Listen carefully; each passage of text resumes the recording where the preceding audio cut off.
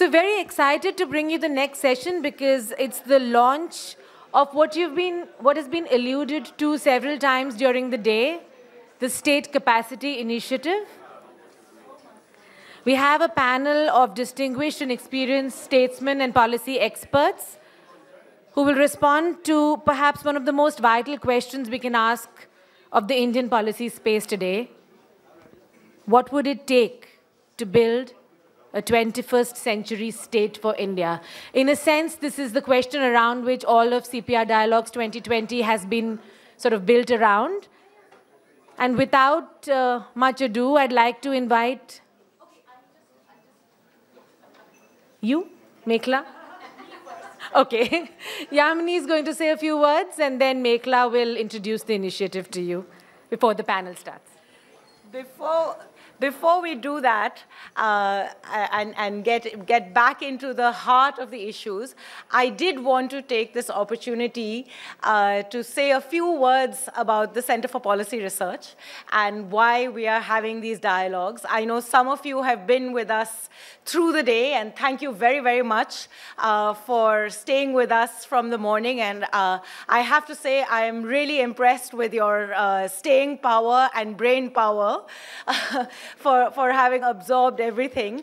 Um, but um, for, those of, for those of you who've been here, please bear with me. And for those of you who've just joined us, uh, I did want to say that uh, our center has been engaged at the cutting edge of public policy now for the better part of 45 years. Uh, we, we turned 45 last year. We were founded in 1973. And we were founded in 1973 with, in some ways, the core, a core mission that remains perhaps even more relevant relevant today than it was uh, back in 1973, which was to find a, to create a space for research to be able to build in long-term thinking uh, into the space of policy making, which often, uh, because of the everyday, uh, tends to conflate the short term with the long term. And that policymakers in and of themselves uh, are so busy dealing with the challenges of the day that there are very few spaces in which there are opportunities to actually frame the big questions, build on ideas, and, in, and sort of move away from the challenge of what needs, what, what should be done to implement to what should be done because it is normatively the right thing to do. Um, and it was with that spirit that the, that the Center for Policy Research began to build research into uh, the art of policy making and create different kinds of spaces for exchanges and engagement with the policy making space. Over the years, as policy making itself evolved, inevitably, therefore, did the role of the Center for Policy Research. And particularly in the 2000s, as research as a core function of our university system began at least to some degree, becoming less central to the role that universities play in our in public life and our institutional life. The center took on the role of uh, building research uh, much more front and center than it ever had in the past. Building research not just through practitioners, but also through academics, creating a robust space for public policy related research, for which the university system had somewhat left a very large vacuum to the present, one of the big challenges that we confront in current public discourse today is that of creating spaces for independent, nonpartisan, rigorous, evidence-based not 150 characters, not 250 characters, certainly not uh, hours and hours, uh, but short, succinct, and yet important spaces for public conversation. We felt as our research uh, was uh, contributing quite significantly in the academic space, uh, and through that engaging robustly with policymakers, uh, that ultimately the art of policy making in the 21st century is not not just about uh, conversations that happen one-on-one with individuals or conversations that happen behind closed doors in committees, but conversations that begin and end in the public domain. And it is those conversations that shape the context in which policymakers uh, build their frameworks, in which policymakers engage in those closed door committee meetings where they debate the nuts and bolts, and shape the kind, the final outcomes uh, which we as citizens have to then confront and vote for and vote with. Uh, and so to, to ensure that we held on to the importance of a public sphere that was independent, that was rigorous, that took difficult questions, hard questions, questions that may not give you the clickbaity headline, but were really very critical and central to the future of India, uh, and to open it up to be in conversation both with policymakers, with practitioners, with civil society, and with academics, as well as the public at large, in order to ensure that the future of India could really be debated through the realm of ideas, through the realm of careful, reasoned, rational discourse, away from the everyday of 250 characters. That was the objective behind the Center for Policy Research's uh, CPR dialogues. The forum was formally launched in 2018 with the first such dialogue, and this is the second. And I can't thank all of you enough for all your support, for being here in such large numbers, for bearing with us through the day, uh, for keeping your questions short, yet very critical and important, uh, and for encouraging us along the way. And especially, of course, thanks to all our speakers who've taken time off from busy schedules, some who've flown overseas battling coronavirus, air pollution, uh, protests, and everything else uh, that uh, public life uh, globally today confronts to be here uh, to engage with us over these two days. With that, um, this is also a very exciting and proud moment for the center uh, because this session is being organized to launch what is one of of our new flagship initi research initiatives that really seeks to take lots of what we do and really front and center the question that is on top of everybody's minds, how do we get the Indian state to do its job, and not just the job that it's being challenged with as of today, but think forwardly to ensure that it does the job that it's being challenged with for the 21st century in ways that don't make the mistakes of the past, and ensure that two decades from now, or perhaps 40 decades from now, the Center for Policy Research, with some very different people, are not scratching their heads and asking the same question again.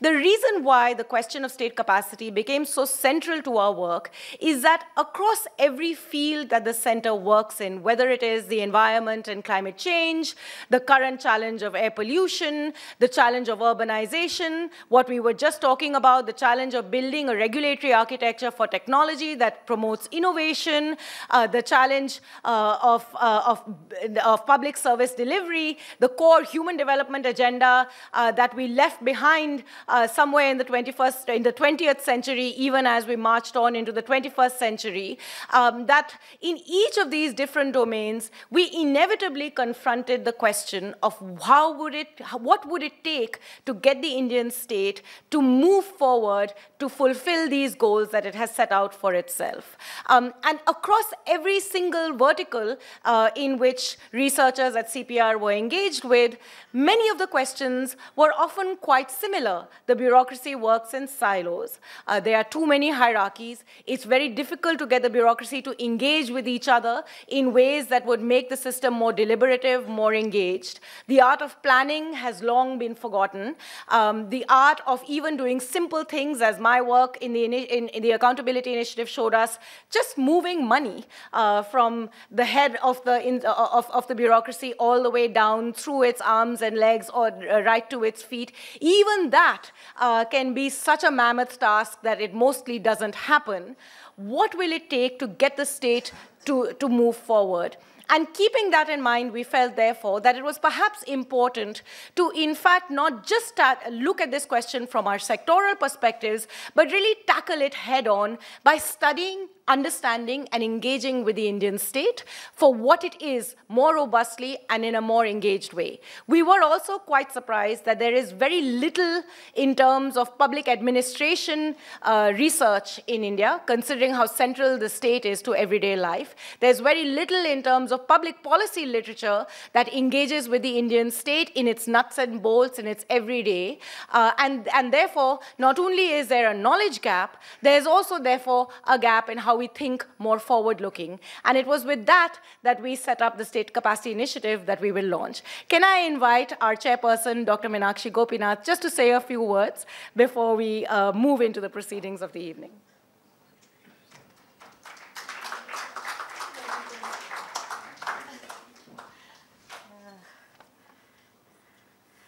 distinguished panel and uh, friends. Yamini has done such a fabulous job with the CPR propaganda, and also she's done it with so much passion and style that there's very little for me to add to it. However, I, I, I thought that it, I just thought I want to share with all of us what a pleasure it is really for CPR to launch the State Capacity Initiative. Um, the question about what would it take to build a 21st century state for India goes to the heart of what is being described as the moral economy of the bureaucracy. Um, because it brings into focus uh, the nature of the Indian state and the working of public institutions, the whole gamut of administrative reforms recommended, sequestered, implemented, or simply hijacked. Um, embedded here, naturally, is a complex mosaic of perceptions, practices, beliefs that sometimes collide, collude, cohere, and, in, and that significantly determine the manner in which the people of India experience their rights and the quality of citizenship. Uh, so the interplay of opacity and porosity, transparency and accountability is undoubtedly contextually defined. Um, so to impose a sterile uniformity where a richer ambiguity exists is really to confine protean ideas of freedom into Procrustean beds. And that's not what we want to do, because we've seen when we're talking about the protection of freedoms, how it easily morphs into law and order delivery, for instance. Uh, while administrative responses and machinery must resist uh, the temptation to be gentle panopticons, uh, it is there has to evolve some kind of a bottom line, a consensus on where the citizens' quotidian experience of the state is infused with respect for her uh, entitlements. Now, public institutions, as we've seen, and, and there's been so much intense debate, especially in the context of the agricultural uh, agriculture panel, is often manned by very competent and well-meaning officials. Uh, but they are being called out almost on a daily basis in the of India uh, in light of a pervasive governmentality and in an increasing number of spaces, the state of exception becoming the norm of governance. I mean, we don't intend to invoke Foucault or Agamben here, but suffice it to say that the Indian state often oscillates uh, between the roles of protector and predator. Uh, it's neither consistently either. And it's not open, however, to negotiation by vulnerable categories of citizens, but it is often open to those negotiating its agenda or seeking entitlements through the benefits of democratic appeal. In addition, the Indian state today is also caught in a discourse where balancing human security and what is purveyed as national security has become a serious challenge. We've seen that through the discussions this morning. And this complex interplay of security and governance has witnessed a huge upsurge of the resistance movements that we see today, and that they have large numbers of women and young people Another important tension is between democracy and difference, how the state deals with divisions and difference to deliver on equality of citizenship. So this project uh, is, is, is, really is a response to these challenges. It is both ambitious, it's audacious, and it's innovative, supported by the Gates Foundation in partnership with the Lal Bahadur Shastri National Academy of Administration, it is poised to undertake extensive re research across eight states, I think, initially, to collate data to gain an in depth understanding of how the administrative apparatus functions today. So, just a few questions. What are its frames of reference and terms of engagement, to the Indian state? What ethical frameworks does it deploy and invoke in its day to day functioning? Do transactional models prevail, or is there an altruistic purpose at all? What perspectives on deliberative democracy does it bring, bring into the consultative process? Are norms of transparency and accountability, accountability seen to be in tandem with the compulsions of effective delivery? How does the notion of the welfare state enter the contemporary imagination, or is it seen largely as a relic of a bygone solipsistic socialist, and I use that in quotes, predilection and anachronism in the age of globalization. How do regulatory bodies work, and how coherent and credible are the institutions that employ or deploy these avowed goals? These are, of course, normative questions, but as Yamini said, much, all our initiatives, be they the land rights initiative, uh, the energy and uh, environment initiatives, the accountability, all converge really around this particular initiative. And we see this as a vibrant hub of engagement, of dialogue, of discussion, and also creating a broad epistemic community that can engage with these issues and collaboratively offer, well, not solutions, but at least offer new questions and, uh, to the discourse. So over to Yamini Mekhala and our distinguished panel, while unveiling with both optimism and anticipation, as I'd say, our program on state capacity. Thank you very, very much. Thank you for being here. Uh, it's, a, it's a great source of inspiration for us to have such a full house and, and a consistently full house today. Uh, it's a testimony to the energy and the youthful energy that has been infused into CPR, and it's going to continue to be that way. Thank you. Good evening, uh, everyone. My name is Mekhala Krishnamurthy, uh, and I'm very excited and uh, privileged to be able to welcome you here as the director of the new State Capacity Initiative at CPR. Um, we have learned actually from the writings and the work of many of you in the room. I think we have drawn on some of you quite extensively as we've built up this initiative.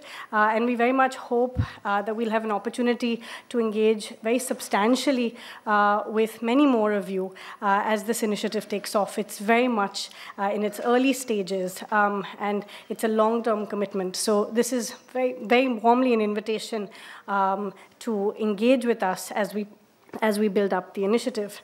Um, so the State Capacity Initiative at CPR is an attempt uh, to place the critical challenges of building state capacity at the heart of policy research, the field of policy research in India.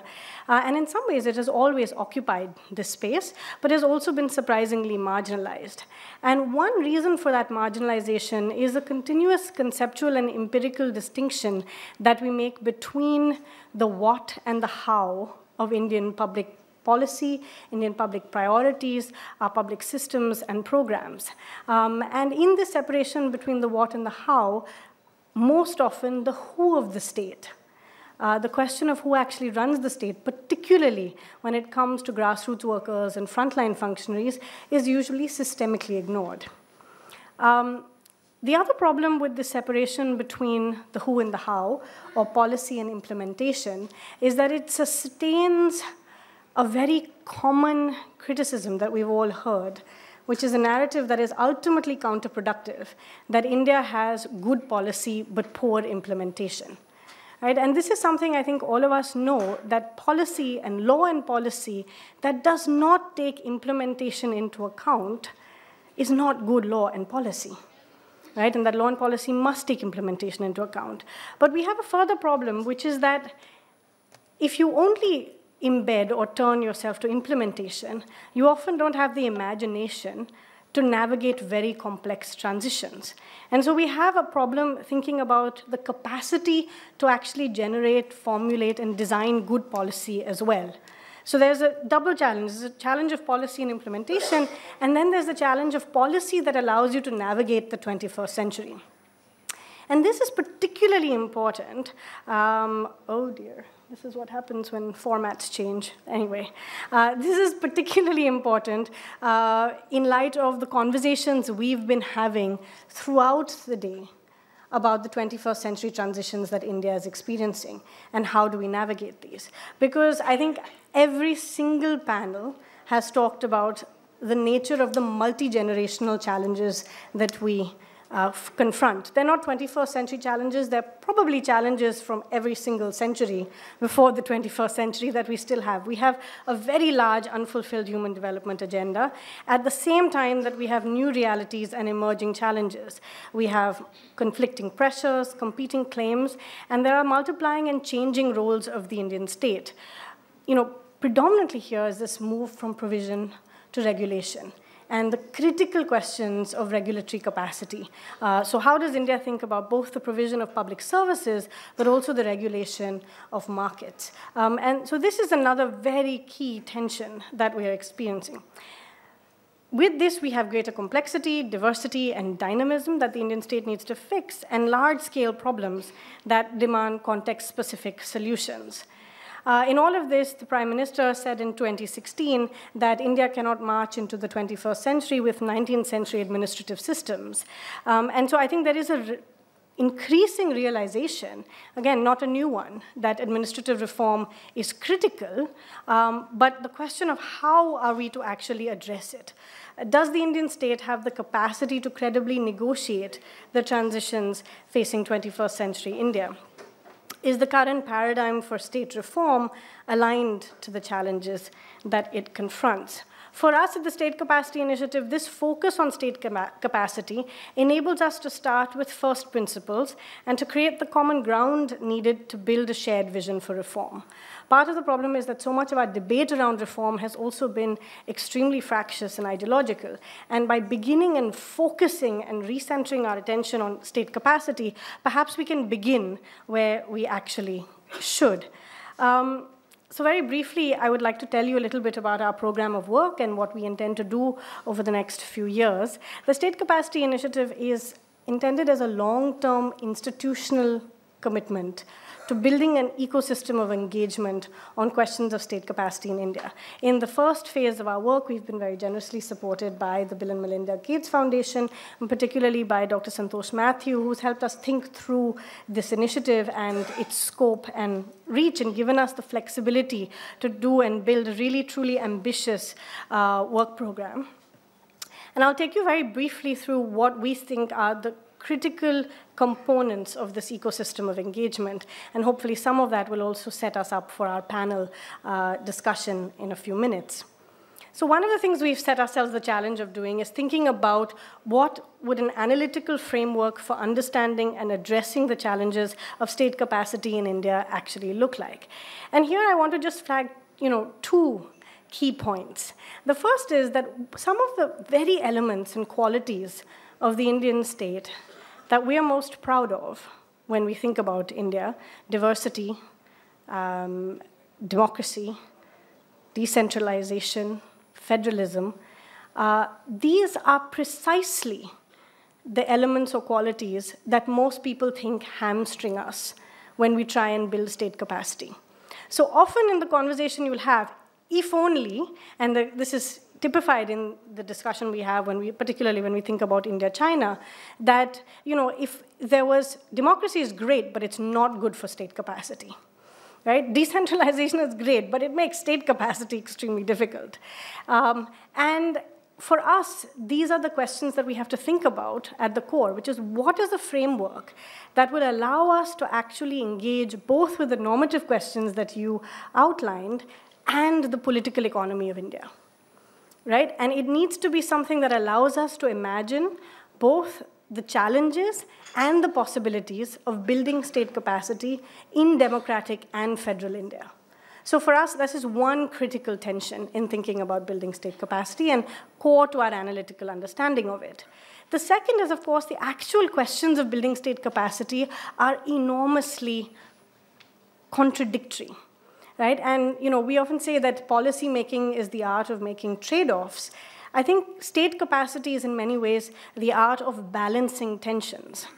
Amongst these central tensions is the question of embeddedness and autonomy, embeddedness in society. And we often say that this is a great strength to be responsive, to be embedded. But the flip side of that embeddedness is often dominant capture and state capture. So embeddedness and state capture have often gone together. At the same time, we have this need for autonomy autonomy in our institutions, the ability to actually exercise some distance. And yet, that distance could very easily become disinterest. Um, and actually attention. So this question of autonomy and embeddedness, the questions of administrative flexibility and discretion versus public accountability, the key questions of centralization, so the center and state centralization and decentralization, Many of these questions are not either or questions when it comes to state capacity. So we have to figure out how to actually design public institutions that balance these tensions rather than trading them off. And this is sort of, I think, what our analytical framework has to really sort of stretch itself to do. Um, the second core part of our work is going to be building a body of research. And Yamini already mentioned that um, when it comes to thinking about state capacity, there is a surprisingly thin literature. We already talked about how the bureaucracy is surprisingly thin in India. The literature on state capacity is also surprisingly thin. Um, and this is although there is a rich literature on the Indian state. I think the idea of state capacity as administrative reforms has meant that we've actually limited our engagement with these questions, particularly on the questions of the people and the who of the state. Um, so, one major part of our agenda is to build up a really robust, rigorous body of evidence and meaningful synthesis that we'll do over the next several years. Um, for us, the core elements of this is that it will be cross sectoral it will focus on transversal or cross-cutting issues of state capacity. It will focus across sectors and across states and across levels. Um, and so it will be, in that sense, a very comparative project to be able to understand the state in all of these dimensions. Um, it's also necessarily, therefore, an interdisciplinary exercise. Um, and this is something where our small team, which is growing, we've really tried to engage uh, young and senior scholars across a range of disciplines. And I will do this in alphabetical order, since there should be no turf wars, starting with anthropology.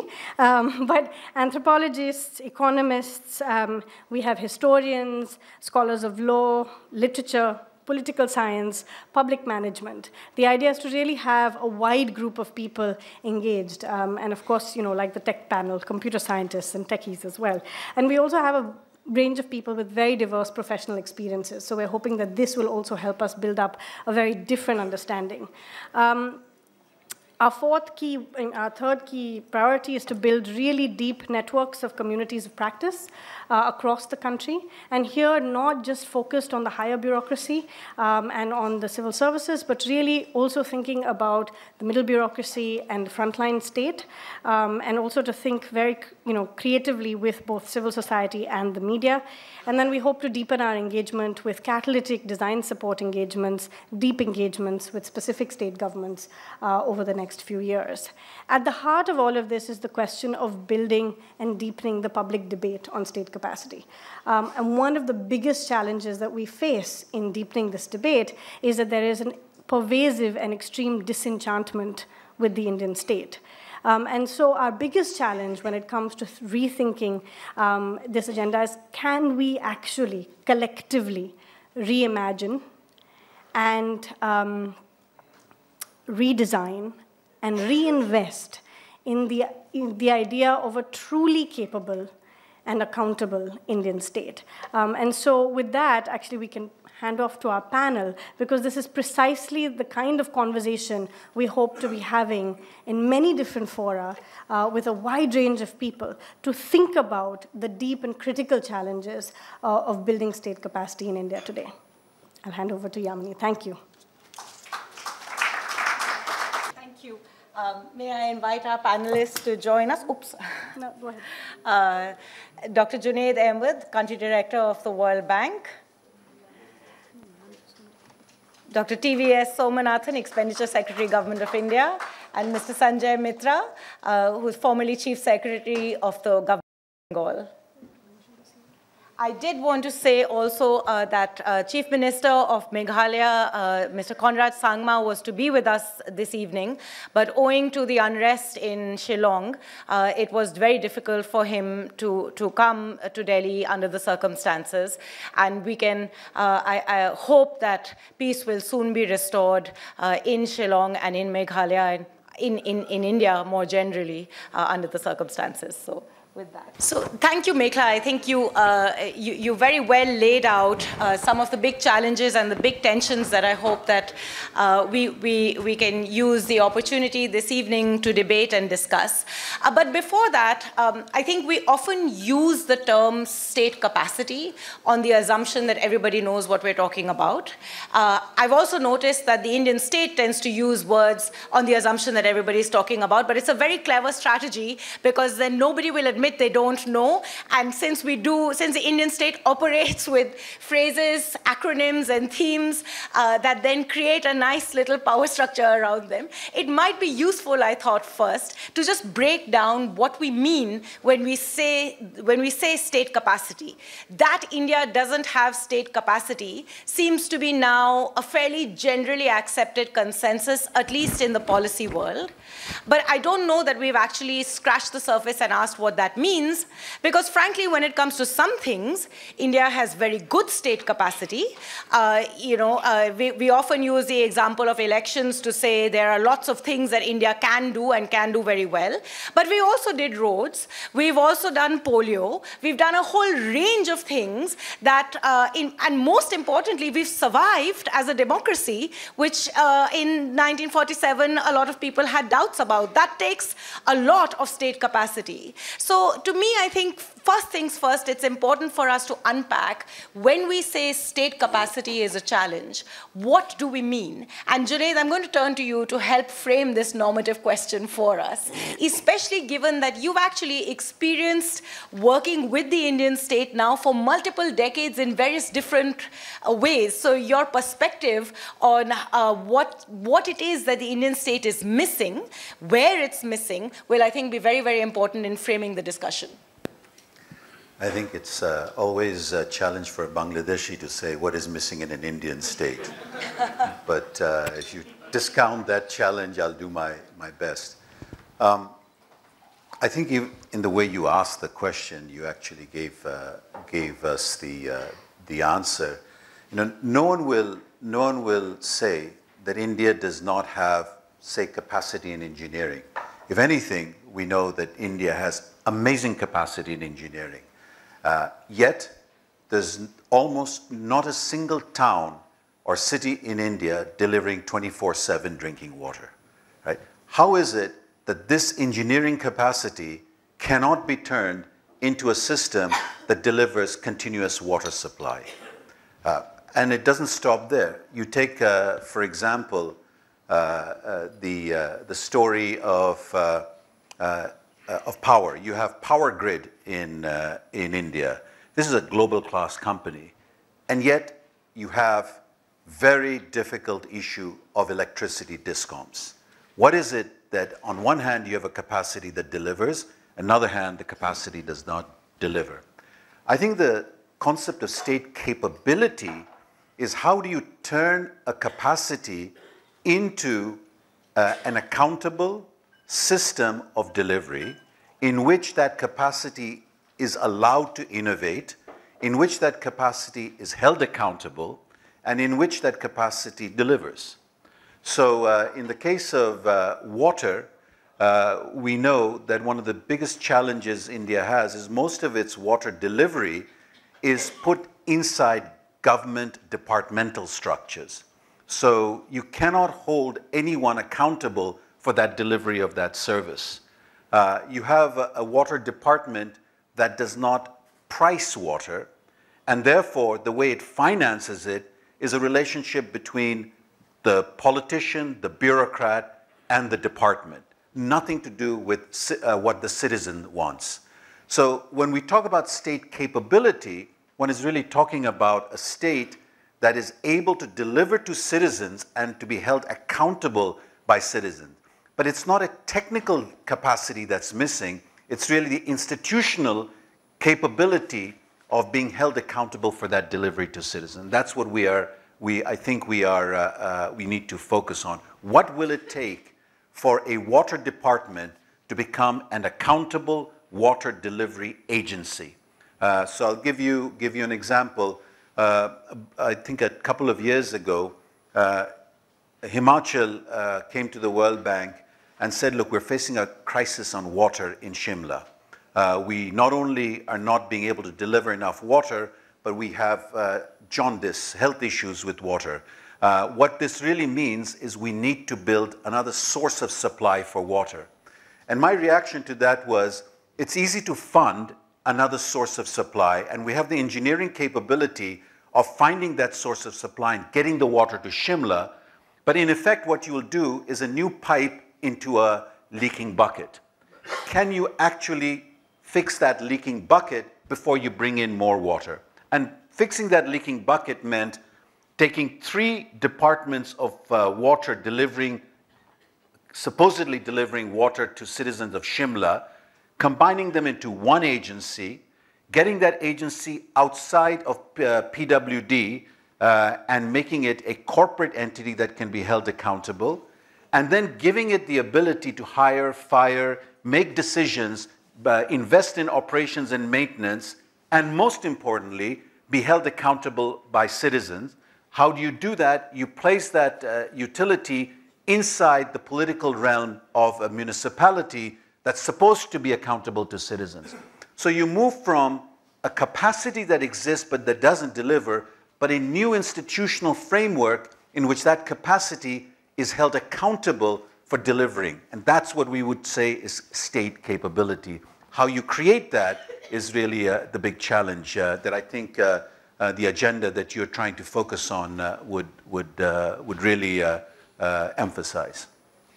Dr. Somanathan, if I can bring you in here, one of the most, uh, if state capability is fundamentally about a, about a state that is responsive and accountable, uh, one of, at least in the public imagination, one of the fun, one of the first things that people will say is that the reason why the Indian state fails is because the Babu is accountable only to himself or herself. And that's because we have a permanent civil service. There's something about our recruitment, there is something about uh, the, the nature of hierarchy and the promotion system. And most of all, it is because you cannot fire. The answer always boils down to, well, move, change the terms of the contract, start firing, and things will change. Your thoughts? I think uh, you've obviously touched upon what a lot of people feel, and I know Mr. Narayan Murthy, for instance, thinks that uh, if we just adopted, um, if we adopted uh, Infosys's method of personnel management, that would basically solve most of the problems of the public service. Something that I don't agree with, but I think uh, we have to we have to look at this issue in terms of how other democracies work as well. And what I'm going to do is behave like a typical uh, Indian civil servant. I've just had a bad day at the office, so I'm coming with poor preparation and hoping that general smarts will make up for not having prepared. But anyway. We'll talk the, about generalists and yes, specialists that, that, in a moment. so, uh, but if, if I look at, I'm sorry? Can I be heard? Or? Yeah. Yeah. So the, I think there are two kinds of, let's I will not challenge the basic premise that you've put out, which is that the civil service is not delivering uh, as well as it should. So let's take that as a given, and I'm not disputing that. Then what are the solutions which one can think of? And I think in terms of how we, uh, the language that we use, I would say there are two kinds of solutions that one can discuss. One is basic structure kinds of questions, what we typically call basic structure. Let's look at the basic structure of the civil service. Should we change that? Now, of course, those changes would be more radical, more fundamental, potentially may have greater impact, but are much more difficult to do and may not happen. And then you have things that you, you can do within the existing structure, which may not be as radical, may not be as appealing in an, in, a, in, a, in, a, in an academic sense, but may actually be easier to carry out. So I'll just touch on, on a few of those things. First, should we abolish, let's say, I mean, I'll start with one, but I mean, we can take this further. Should we abolish the IAS and replace it with, you know, um, position-based services? So a lot of, uh, the World Bank, for instance, you recruit against a position.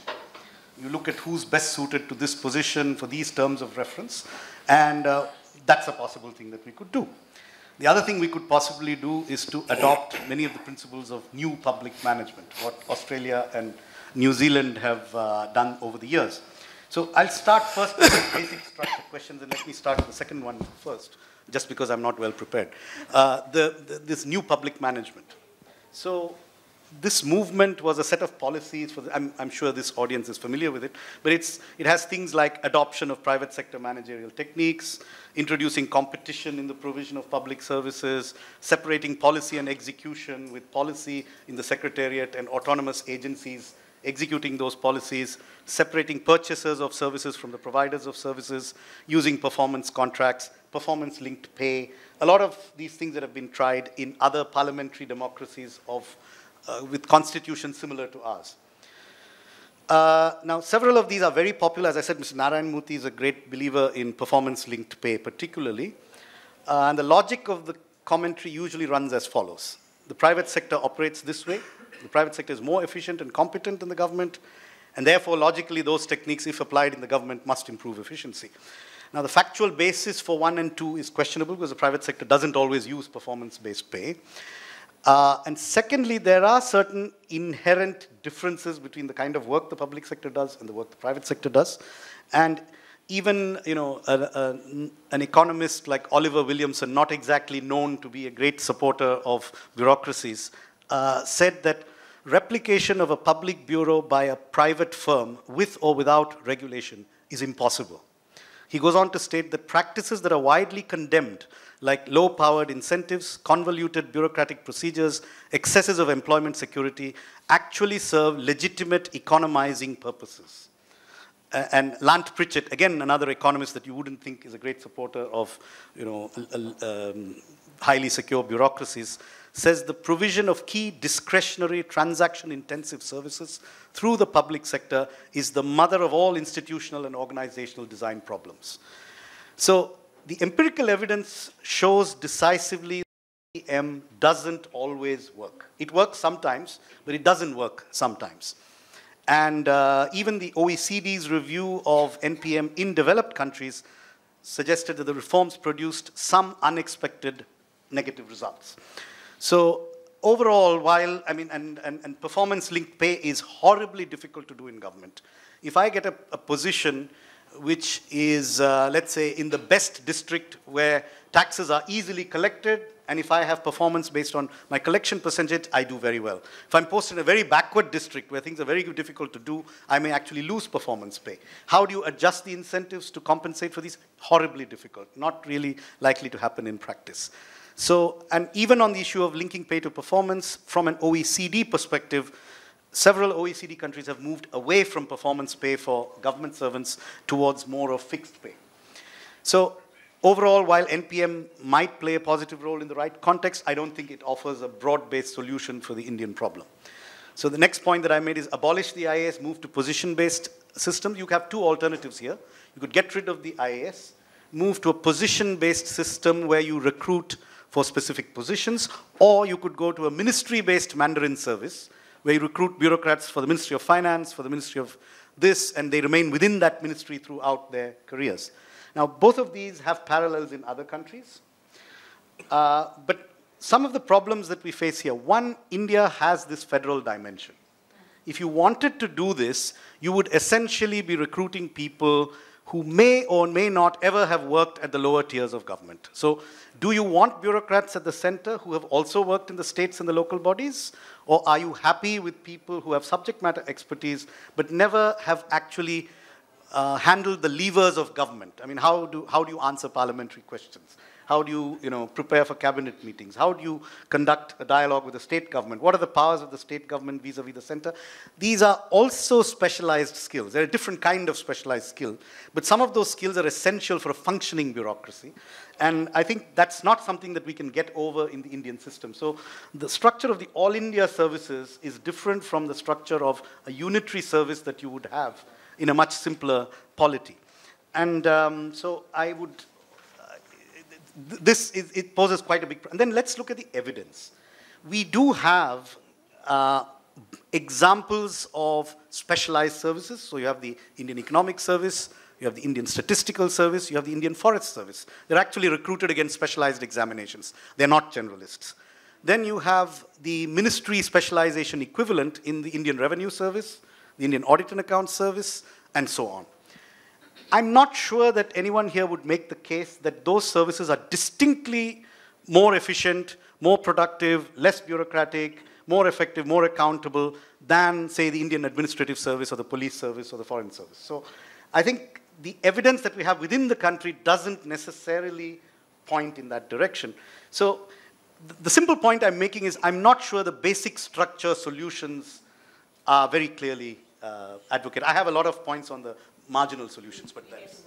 Uh, but actually, I think that's a very important point to segue into the larger structural issue, Mr. Mitra, if I could bring you in to this question, which is that the problem of state capability, the problem of building accountability into the state structure is not just about uh, the bureaucracy or, or the IAS and, the, and, and its multiple verticals. It's also fundamentally about how the state is organized about where and how power is located, uh, about the challenge of federalism.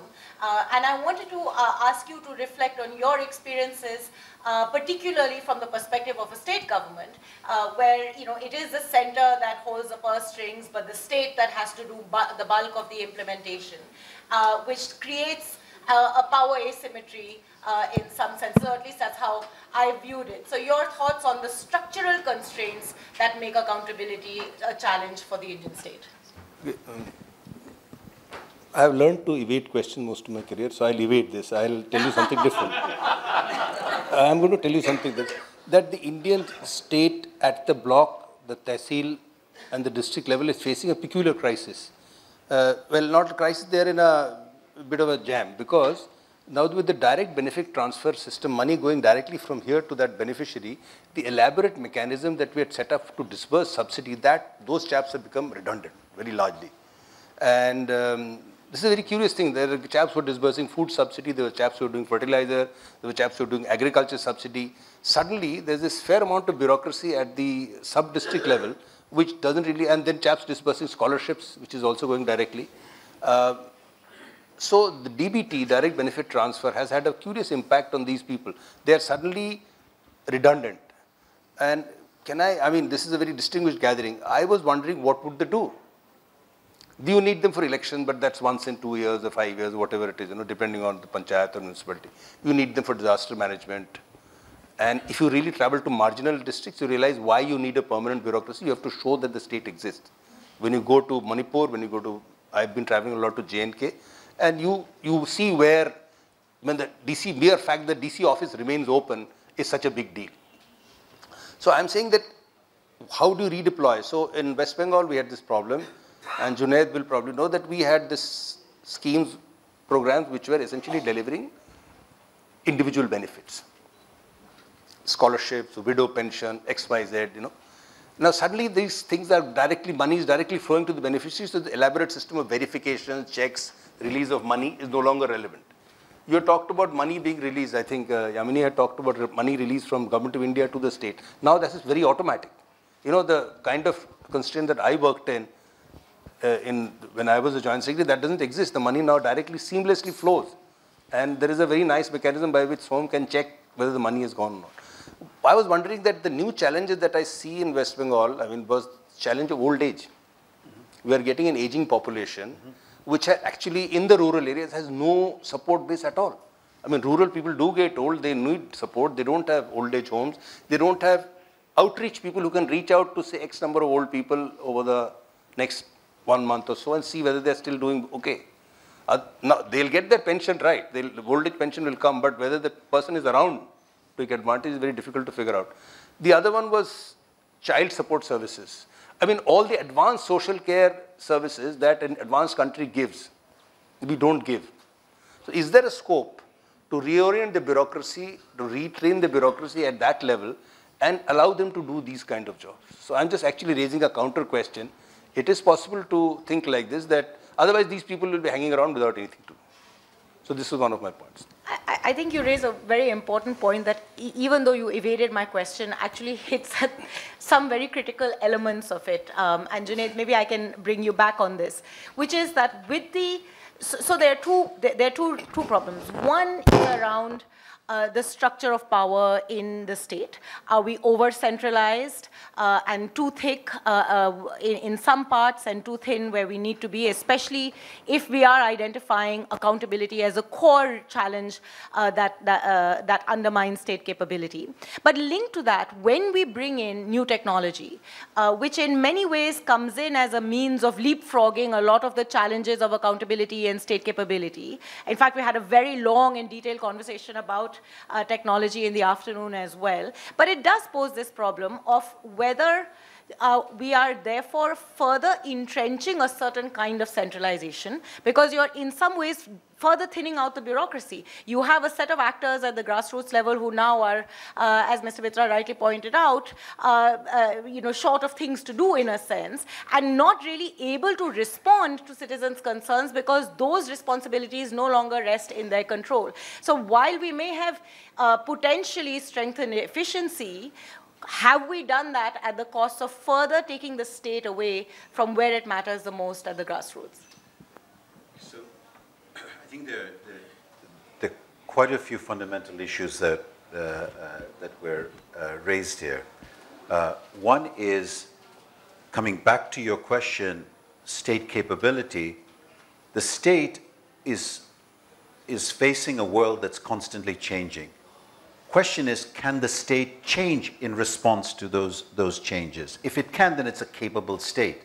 So the question that Sanjay raises is, uh, is clearly one where a different setup has emerged. Is the state flexible enough to respond? And I think we have to look at the systems uh, by which state is managed to assess whether that capability exists. I mean, that's the first, first point. Second point is, so I'm going to say, say it the way, way I see it. The future of India lies in the states of India. The future of India lies in federalism. The future of India lies in states capable of bringing the state close to the citizen. Technology may change, but it doesn't take away the, the need to have the presence of the state in front of citizens. If the, if the state... Was that the state responding? Yeah. no. If with technology changes, you'll see changing in the nature of between the state and the citizen. But if the state disappears in front of the citizen, you have a very weak state. Uh, and, and I think that that also is an example of state capability, that ability to remain in touch with, uh, uh, with the citizens. Extremely, uh, uh, extremely important. I have to say, one of the things uh, in the World Bank is over the years, we began to focus on privatization. We began to focus on communities. Uh, we began to focus on technology. And I think we forgot the state. And I think that this conversation of state capability is bringing back the, one of the constants in development, which is a capable state is absolutely essential for development. So the conversation of making a state capable is a conversation about making a state uh, uh, able to respond.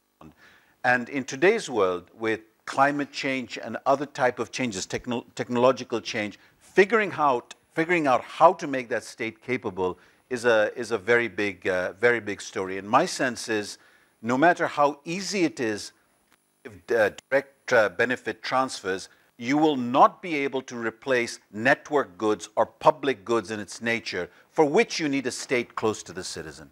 Absolutely In fact, I don't know if it's not just the World Bank that forgot about the state. I think India did too.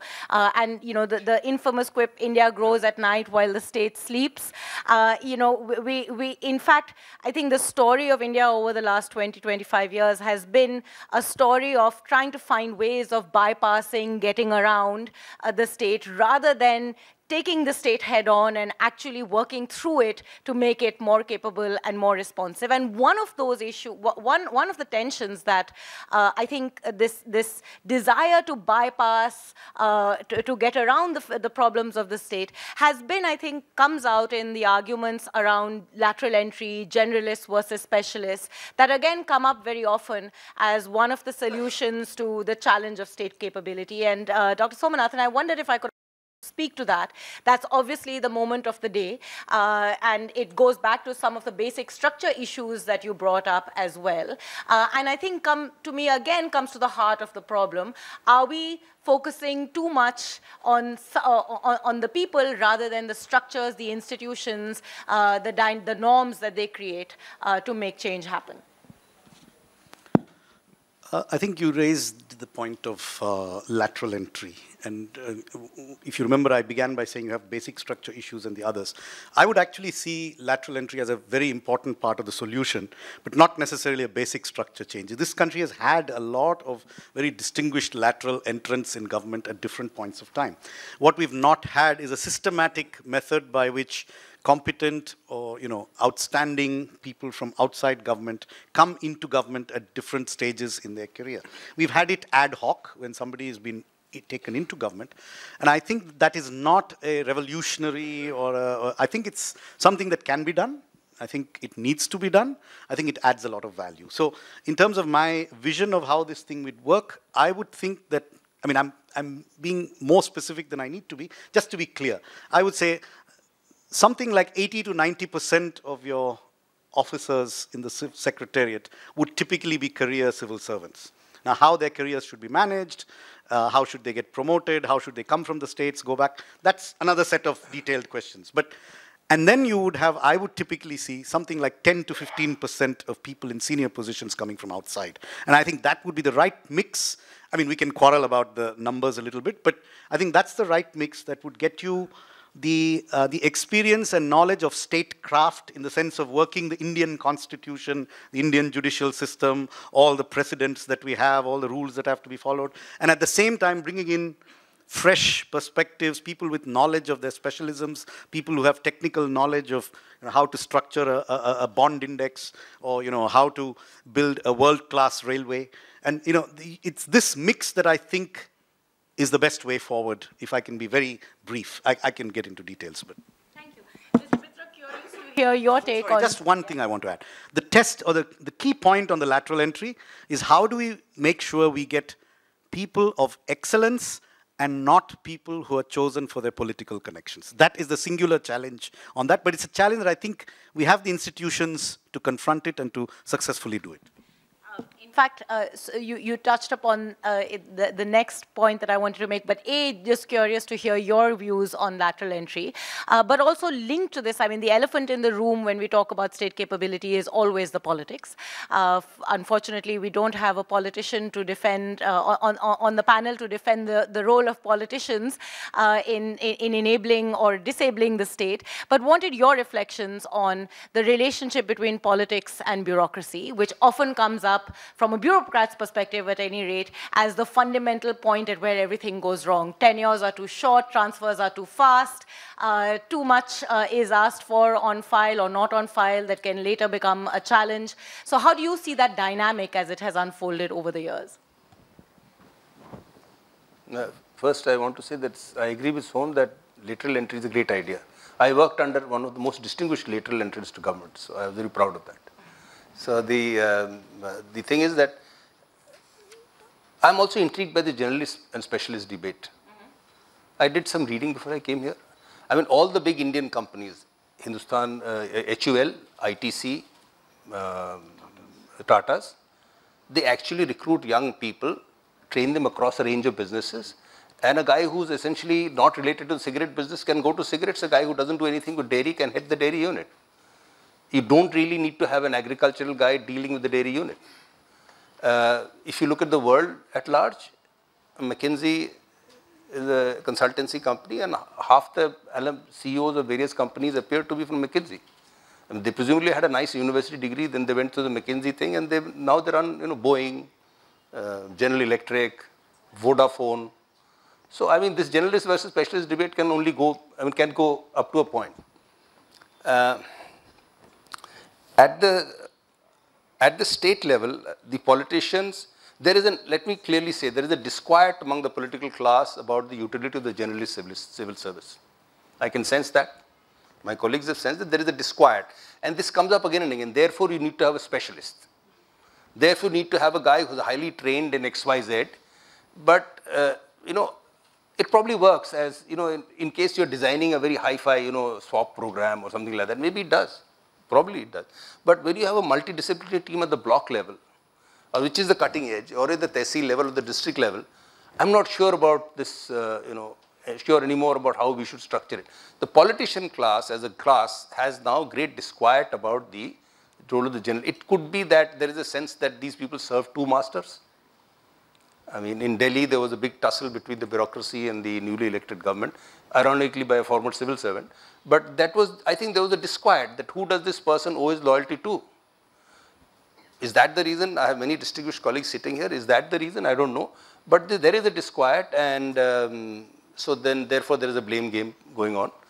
And um, does capacity exist in the political uh, thing? I am not very sure. Not at the not at the block village level. No, because we could not train the people. No, it's that, not there. That brings us. I hope you'll talk about local governments, Junaid. I, I wanted to bring it up, and I think we've segued right into it. So. Uh, I will talk about local governments, but I just wanted to say that uh, over the years, as I've worked uh, in different countries uh, in the World Bank, I have found that most of the development problems that we face uh, are not sectoral, but cross uh, sectors, and that the ability to connect is absolutely vital. Uh, today, we're working in Punjab, and in Punjab, the electricity, water, and agriculture nexus cannot be solved by the electricity specialist or the water specialist or the ag specialist by themselves. So I've also uh, come to a, a, recognition that this generalist versus specialist is, uh, is overdone in terms of a, of a discussion. Uh, and, uh, and I think that if we don't have the right mix especially in a complex world, which is ironic because people say in a complex world you need specialists. My sense is in a complex world you need connectors uh, even more. Uh, on local government, what, what aspect did you want me to? Uh, we'll get to, I think you wanted to uh, say something on, oh, oh, sorry, I thought that's what Mekhala was saying. You know, I, I just wanted, to, you know, again, going back to where we began, accountability at the core. We've, we've touched on this again and again in the, in the sense of where is the state located and how does that location then uh, in, enable the state to be genuinely accountable. Uh, and yet, India doesn't do very well when it comes to empowering and strengthening local governments. Uh, and you have been engaged with this question now for many decades. What are we caught in a chicken and egg? Because that always brings up this, the, the, issue of capability and capacity at the grassroots. Um, and is, is that chicken and egg something that is preventing us from building capability? Well, I think if you look at the 21st century India, the 21st century India is, is an urban India. And nowhere in the world do we see an effective urban nation managed centrally. You have to manage urban at the, at the local level, at the city level. And I think one of the biggest challenge, uh, challenges that India faces is what will be its paradigm of urban management? Uh, if you look around the world, uh, I'll say it in a stylized way, there seems to be uh, uh, there seems to be two models of effective city management. One is a fully empowered mayor, full powers to run it. I think the, the vision of 74th Amendment may have been that. Then the other is state managers that are asked to run, uh, run uh, uh, cities. The, the, the similarity between a mayor that runs a city and a state manager that runs a city is they're in charge of the city, where the city is is, is like a little country and the interconnections have to be managed together. You can't deal with transport unless you deal with uh, urban land zoning, for example. Uh, so you need empowered local leaders to manage cities. Then you have the third model, which is South Asian model, which is cities are managed vertically, fragments uh, in a fragmented way. In my city, Dhaka city, is run by 18 agencies responding to four central uh, line ministries. Uh, and people will say that the real mayor of Dhaka is the prime minister of, uh, of Bangladesh. And, and if you look at the traffic jams that are in Bangladesh, in Dhaka today, it's not surprising because police responds to one line ministry, uh, road, uh, roads building belongs to another one, uh, uh, simple land zoning belongs to a third one.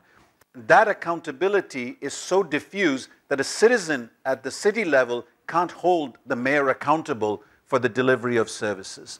So local government uh, is, uh, in a, certainly in an urban system, is going to require uh, far more strengthening. And I think that when I say that the future of India lies in federalism, uh, I've come away from a sense that these centrally sponsored schemes that have been created in India to try to change the local level actually will not work. And that if you want the local to work, you have to empower the state. There has to be a political economy challenge between the state and the local, and that different states will respond to it differently. That unless federalism is uh, created, you're not going to get uh, local government to, uh, to really emerge. Uh, you look at the emergence of, of, uh, uh, of JNNURM and you look at the emergence of the smart cities, they have a very top-down approach to local government. And I think that it's time very much to really move towards a, a story of a local empowerment. Uh, but how that will happen, I think that political shift can only happen in a context of a, a much deeper federalism in India, not a more centralized uh, system of, say, centrally sponsored schemes. Would you agree with that proposition? We need to be more federal if we need to build a capable state? Mind if I just give you an anecdote? Absolutely. It, it involves a, a country the World Bank and the Chief Minister of Tamil Nadu. So, I mean, it, it's not directly on point, but uh, when Mr. Roberto Zagha visited Chennai somewhere between 2000, and I think one of the ministers of Panchayati Raj then is here in this room today, uh, the, he visited Chennai and he said, you see, Mr. Chief, he said it in English. The Chief Minister could understand but waited for a translation, and then we translated back. So he said, uh, Mr. Chief Minister, I come from Brazil, and in Brazil I come from Sao Paulo, and the mayor of Sao Paulo is considered more powerful than the governor of the state of Sao Paulo. But here in India, when I come here, I see that you know mayors are very weak, and the chief ministers are very powerful, and the governments, uh, you know, the state government dominates the cities. So, Mr. Chief Minister, do you think that in our lifetime we will see empowered municipalities in India? So this was the question. So the chief minister took a moment, and he was um, he was very good uh, with words, especially in Tamil. But uh, so what he said in English, I'll translate was. He said, I'm extremely happy to know that in your country, uh, the are as powerful as state governments. I'm really happy to know that. Unfortunately, the situation in India is very different. The states are only as powerful as municipalities, and it's a central government that dominates everything. And could you please do something about this? so, so, but the, the point that I'm making is that uh, the, the, it's not just the British, but I think the tradition of state governments viewing political competition from big cities as not desirable is it's, it's partly because we are a democracy. I think they would be more comfortable with appointed state managers. But if you have empowered mayors, I think that is not something that fits well into the democratic polity that we have at the state level in respect of urban local. For lo rural, they're okay with that. But the mayor of Chennai, if he was really empowered, would be a rival power center to the chief minister of Tamil Nadu. And I'm not sure that that is something that people would really be. So, I mean, that's why exactly I, I refer to a city manager model, because I think India will, one way or the other, uh, look at this model of city managers, uh, because that is a relation between the state and the city mediated through a very different, uh, different way. Now, remember that a city manager uh, accountability is upwards, not downwards. So is that the, the democracy that India uh, would allow? But unless and until there is some form of management of cities as cities, whether it's through mayors or through city managers, you have a, uh, uh, a uh, challenge in terms of urban, uh, uh, urban management. Mekhala, quick question because you're eating into audience questions. I was wondering if CPR could engage with study on public service commissions. Yes, we are hoping Public, to do that. I, am so glad because this is an institution that has been allowed to atrophy and most of them are characterized by FIRs filed against the previous incumbent and they are the key institutions to put, if you talk to a person selected by a PSC and a person not selected by a PSC, the contrast will be stark. And I'm so glad you're doing that. I am really, really happy. Thank you. In fact, public service commissions are on the top of our list of Absolutely. They should be. So this is great. And to take on uh, Som, uh, Calcutta, the mayor earlier was a genuinely, you know, he was a politician separate from, uh, then he kind of felt orphaned and now the mayor is also a minister. so, Very quick, uh, a very, very quick question. I mean, in terms of talking about the need to build capacity in local government, I mean, the other big challenge is really regulatory capacity.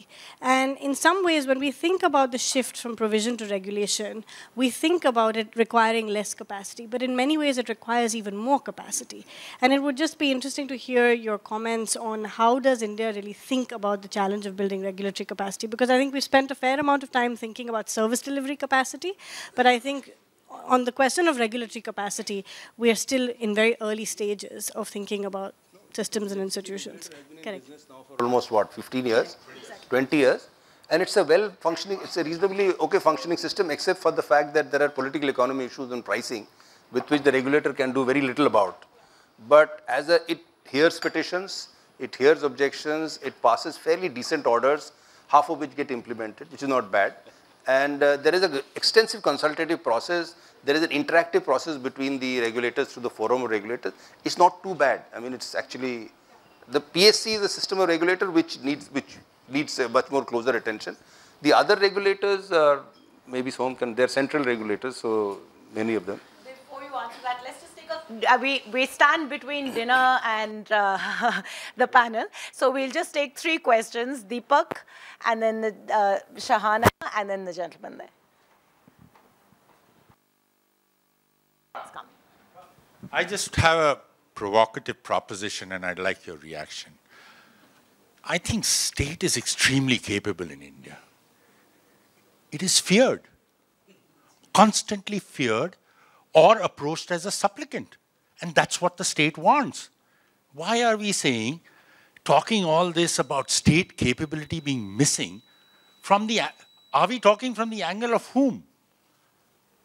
It's the state which says, I'm pretty capable.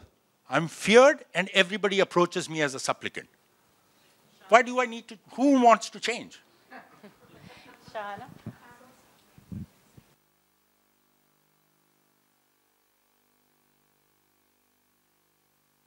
question is mostly for Junaid, and it's about the 21st in, uh, century state for urban India. As ur- um, to what extent is the is is all are these changes in state capability a function of the state, or what are the external forces acting on the state? Because if you think of a state that has acquired it, Delhi is one, and it hasn't been a result of any sorts of major institutional changes.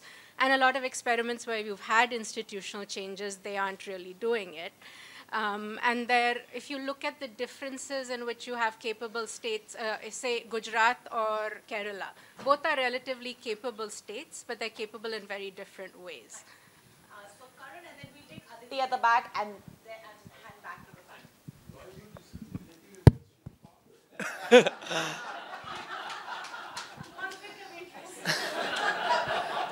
So someone else should be the judge. Um, que- this is a question about uh, most of the bureaucrats around, uh, you know, initiatives such as State Capacity Initiative, and you know, I, along with many others in this room, work on and think about state capacity. Uh, but there are very few examples where the government has been able to integrate those research findings into actual policy making, into actual policy decisions. What do you think, uh, you know, as bureaucrats, as people who use our evidence, uh, who think about our evidence, what do you think academics and researchers should do better so that some of the work we are doing is able to actually lead to policy changes, both locally but also more nationally?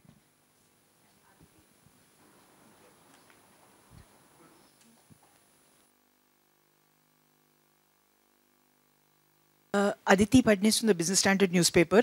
I'm a reporter, so please uh, overlook my frankness or bluntness. Um, I am just wondering, uh, you know, the it's nice to admire the problem of lateral entry, but uh, the system has not been exactly kind to people who have entered laterally. Uh, you, we've just seen a, a, book by Montek Ahluwalia where he says that until he got the backing of the political leadership, he continued to be some kind of a, I don't know, a prey or a victim of the system.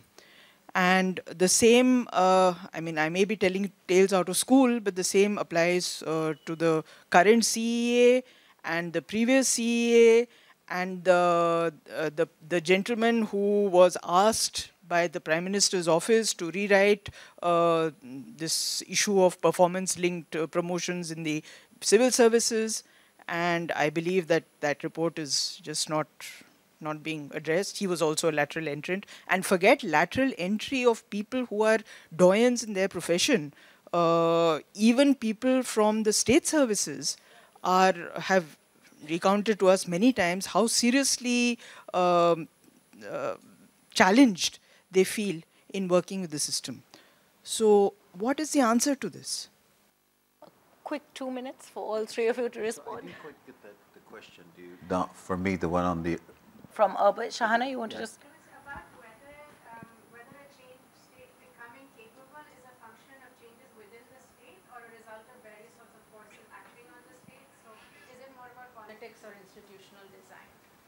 the Shimla case would be one. Was it the corporatization or was it the fact that they had directly elected mayors? Uh, so, what's more important? I mean, I think that changes uh, only happen if there is a political uh, uh, process behind it. In the case of Shimla, there was a natural shock which was affecting the state in a very deep way. It builds on tourism. And here you have water pollution uh, that uh, and water shortage that might affect the nature of the uh, of the economy and the political system then reacted to say we need to do something. So the shock may come from outside. There may be a crisis but the change has to be one that is supported uh, uh, politically without without any doubt. I don't think you can divorce the uh, politics from from policy changes. If you do i don't think any policy changes is sustainable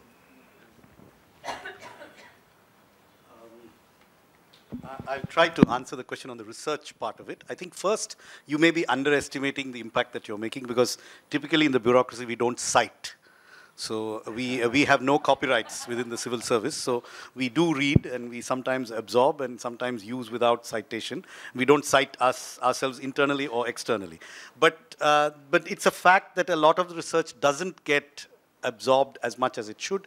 I think the only suggestion that I would give is if researchers could try to internalize what the policymakers also, for, let me give you just an example to illustrate. So a lot of people say, you know, your revenue estimates for this year and next year are too high, okay? And then you keep reading the paper and it says, you know what, revenue estimates are too high, you know what, the fiscal deficit is too high, you know what, public expenditure is too low, and you know what, there's too much extra budgetary borrowing. So what I would like from a research paper is, if the revenue estimates fall short, would you like us to increase the budget deficit?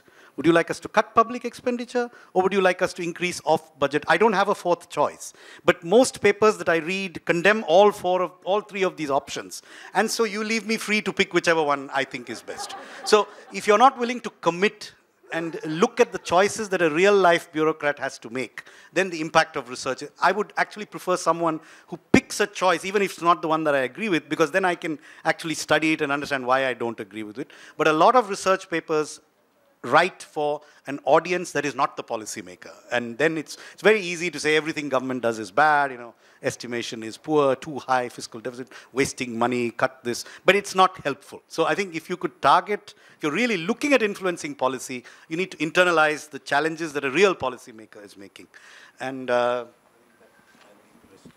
Actually, I can give you one or two uh, examples of where uh, a considered study has had impact. One is something very strange called the availability-based tariff, which is the way of uh, pricing, you know, excess demand or supply in the power system. It came out of a report, it came out of a study, and the government adopted it in toto, and it's now in operation. It's been in operation now for 15, 20 years. There have been many such cases. I mean, uh, in my province of West Bengal, we designed this direct benefit scheme for girl children. It came out of a study. It came out with the most obvious study that a direct benefit to a girl child will increase, uh, you know, age of marriage, will, well, actually copied from his state. I mean, the Dhanalakshmi scheme, which was there 30 years ago. So people wrote about it and people, other people picked it up. It's not that policy in India happens in vacuum. No.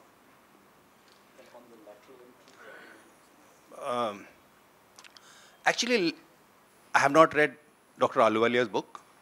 And so I'm a little intrigued that uh, he was not treated well by the system. I'm a little confused. Um, uh, I must be getting my facts wrong, but there are many more distinguished lateral entrants. I can see at least one in my in the audience. There are many others, sir. I mean, Dr. Manmohan Singh was one. Mantosh was one, D.V. Kapoor was one, Lovraj Kumar. I mean, there's the whole list of distinguished Arun Maira. This, it, it just doesn't happen like that. I mean, it doesn't. Uh, this, to say that you know lateral entry entrants are pushed around, I don't think is correct. If you are, if you're not good enough, you will get pushed around. If you have a lot of gas, you will get pushed around. You know, so if you have substance, nobody pushes you around in the government. I mean, you know, it's, it's not very easy to push around a lateral entrant because all of us assume that he already has some backing to be where he is. or she is. so uh, it's, it's not correct. And to, uh, I mean, I'll, uh, fear, uh, uh, Deepak has taken uh, an extreme line, but the state does deliver services. We deliver, you know, um, small things, widow pension, scholarships, agriculture subsidy. I mean, people did these jobs and they did them reasonably, you know, well, didn't do it very well, but it's not a question of fear all the time. Junaid, you want to say Just on the, on the lateral entry, uh, uh, I think something that uh, uh TV was mentioning that if you are going to bring in lateral entry, you need an institutional setup that, uh, uh, that manages that well. I think if lateral entry is done systematically, you need to build a structure that manages lateral entry, including when you've uh, brought people in to, uh, uh, to really uh, embed them in the system. We in the World Bank a few years ago did a major structural shift and all these senior directors were created and about 40% were lateral entry, except there was nothing done to support them when they had come in. So within a year and a half, that 40% literally left. Because it was you know, vast machinery. If you haven't been inside it, you don't understand it. So if lateral entry is going to be practiced, there has to be a machinery around that. Then, then there is no reason why, why, it, uh, uh, why it, can't, uh, it can't work. The other thing I want to say is, I think uh, you know, a lot of the discussions uh, should not be seen as uh, one of deep institutional change versus change at the margin.